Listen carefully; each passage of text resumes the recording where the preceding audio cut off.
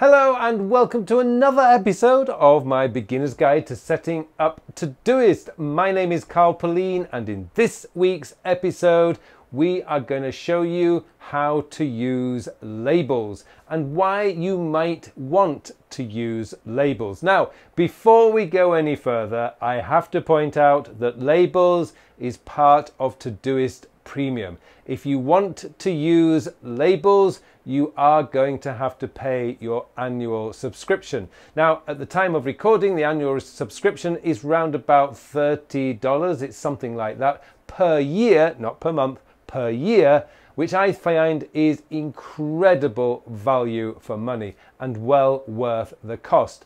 Now, labels are all about being able to kind of fine tune your tasks so that you can create lists of tasks that come from multiple different projects. So, for example, let's say you create a label called errands, and this is to do with going out of the office or going out of your workplace, your home, and going and doing shopping or going to the bank or visiting the dentist or something like that. Now, some of those tasks are going to be in your home folder, some of them might be in your work folder. So, how do you bring them all together in just one list? And that's where labels will help you. So let me take you into my demo demo account now and I'm going to show you some of the things that you can use labels for. Now it's not exhaustive. Uh, it is exhaustive. You can create as many different ways of using labels. The key here is try to keep it as simple and as functional as you possibly can. Okay, let's get started and I'll show you exactly how to set up and create labels. Okay, so as I mentioned at the beginning of this episode, we're now moving into the area of premium features. So all the features that I've showed you up to here, or most of the features I showed you up to this particular lesson, were all the free parts of Todoist. Now we're moving into where you would get the premium version, what you additionally get with premium. So what we're going to focus on in this lesson is we're going to focus on the actual labels. Now labels are useful. Now before we do that, I wanted to just to check that you have the premium version, you need to go to your settings account and it will actually tell you here whether you have the premium version or not. I've upgraded that this morning, so now I have the premium version. So labels, what are they? Now labels comes from David Allen's book Getting Things Done. It's effectively what they are are context as they would be in GTD. Now, contexts are usually based around people, place, or things, but you can get quite creative with labels if you wish. Just to give you an idea of how this would work. So let's have a look at this one. Uh, do my expenses report. Well, I need to be at my computer to do that. So what I would do is I would add uh, computer. So the thing is, I don't actually have any labels set up yet. So what I'm going to do is it gives me this option to create the label. So I'm going to create the label there and that's done. I have to click the checkbox and now that's added. So you'll see up here, I've got my label computer. So that's that one done. Take the garbage out. Now, normally you might think, well, people, place, or thing, this is going to be home. But the thing is, I already have a project called home. So why would I have a project of home and a label home? So in this case, I'm going to call this chores. So C O R S E. I think that's right. I hope that's right. So I'm going to create chores. It doesn't look right, but anyway, that's what I'm going to call it. Uh, my spelling is atrocious, but anyway, I've added that now. So that one is now added. So I've got that as chores. Really does not look right. Um, but anyway, who cares? Um, this is just for demo purposes. Buy Barney some medicine. That again could be a chore, so I can click on that. Now, what's happened is I'm going to click on that there and that's also done. And we got one here uh, chrome web store. Now this could be read review. Let's say i want to create a read review. So this is a good label to have. So let's call this read review. Like that. Add the label. That's done. Click the checkbox. And now that's been added. So i've got my read review label. I've got another one here are you bridging the gap yet? So this is another one where I could actually add the read review. Now remember, once you've gone the label, all I have to do is type R and it brings it straight to the top. I can just click the tap on it and it's now added. So now I've got the label. So how does this work if you are actually working on a day-to-day basis. Well, let's just say I've finished my work for the day and I want to do some reading before I go to bed. So what I'm going to do is I'm going to tap on that and I can bring in my read review. So this will show you all the things that I've got stored in my read review label. So it doesn't matter which project you've put them in. I could have put one of those in my home project or one of them in my work project and that would come up into my label because I'm using my labels from here.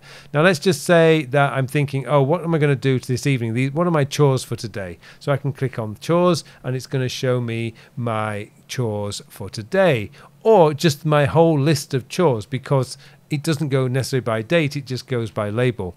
And let's just say I'm finished, it's towards the end of the afternoon, and I'm thinking, okay, I'm at my computer, I've got another hour, what can I do? I can click on my computer label, and it will give me everything that I want to do there. So that's a one way of using labels.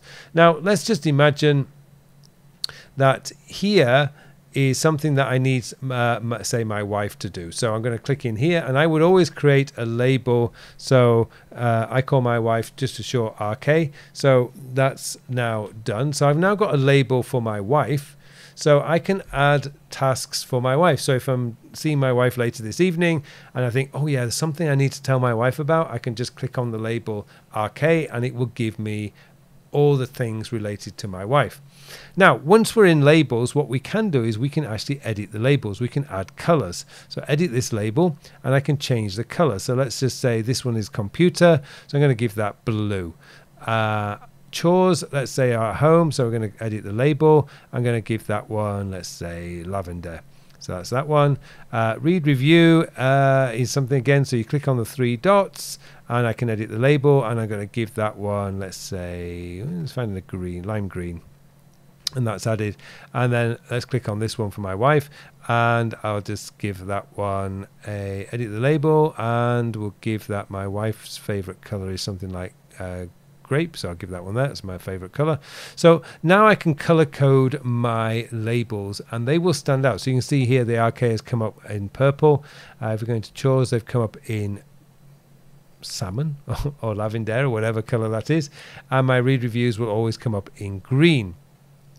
So that's just something that you can do with labels. Other ways that you can do labels, you could have like a two minute label or a five minute label for those quick tasks. You could use the Eisenhower matrix if you're familiar with that. That's the urgent and important, not urgent, important, and so on. You know, there's a lot of things that you can do with labels, but I would always recommend that you keep it as simple as you possibly can. Now, one other area of labels that are really useful, if you're in sales or business development, I would recommend that you have a label for calls and a label for follow up. So let's just go into here and let's just say that I need to follow something up. So let's just say that this one is a follow up. I can add another label. So I can do a follow up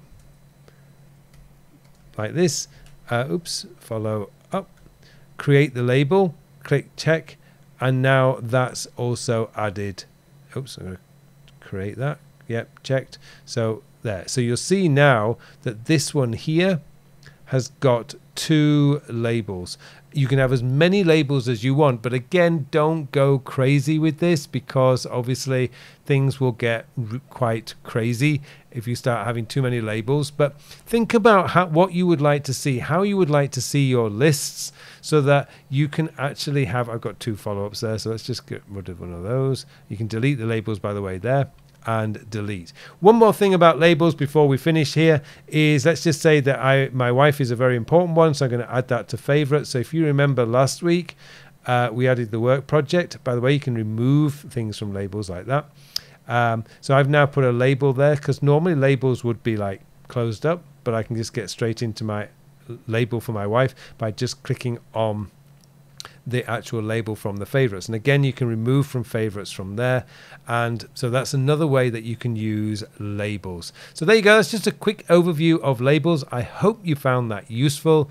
And it just remains for me now to wish you all a very, very productive week. Hello, thank you very much for watching my videos. Now I have something exciting to tell you about. Recently I have developed a brand new time management system. It's a system designed to manage your time in the 21st century. The world has changed a lot over the last 20 years. In fact, it's actually changed a lot this year. And what we need now is a system, a time management system that is very easy to use, easy to maintain, so that you can spend more of your time doing the work. And that's what the time sector system is all about. It's going to change your whole belief system about way the way a time management system should work because this focuses on when when you are going to do the task. And let's be honest, it doesn't matter how motivated, inspired or how urgent something is. If you don't have time to do it, it is never going to get done. And that's what this system is built around, getting your work done. So you can spend more of your time doing the things that you want to do.